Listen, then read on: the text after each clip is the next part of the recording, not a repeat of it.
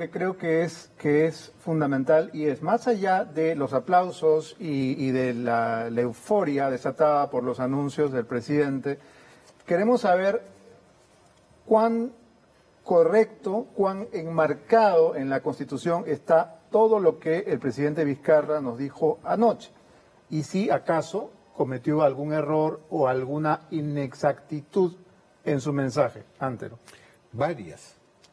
Eh, no sé quién habrá facturado todas estas cosas, pero realmente habían errores sustanciales. ¿Cómo Uno, cuáles? Por ejemplo, hay una legislatura ordinaria y las legislaturas extraordinarias solamente pueden ser cuando el- está en receso el Congreso, no hay sesiones ordinarias y por lo tanto puede haber una convocatoria del presidente.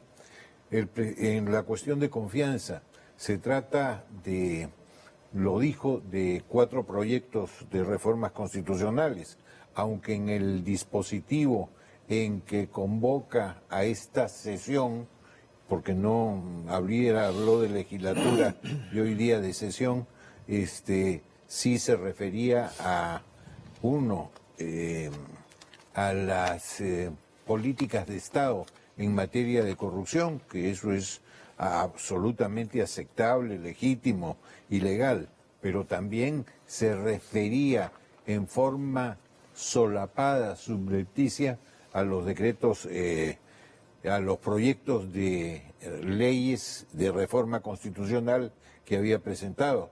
Y eso sí no es factible, porque inclusive no nos olvidemos primeramente que la cuestión de confianza no la presenta el presidente, sino tiene que ser el gabinete o un ministro por separado. Pero eso- esto, digamos, es, es subsanable porque el, el Premier lo va a hacer mañana. Todo es subsanable, pero estamos hablando de qué incongruencias había, y ha habido incongruencias, que en el camino han tenido que hacer rectificaciones, han tenido que hacer rectificaciones. Que haya convocado para el referéndum para un sábado y no para un domingo, digamos, son cuestiones... Es- eso es pe- pecate minuto.